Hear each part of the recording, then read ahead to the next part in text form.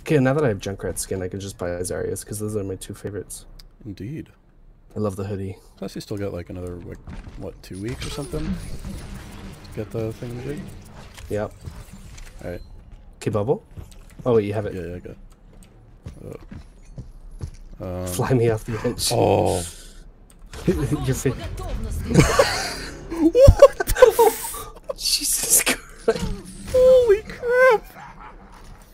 Wow, I went straight You went into up. the stratosphere! I didn't know that would happen. Usually it just goes all like ballistic. That's hilarious. I thought it was gonna send me like backwards.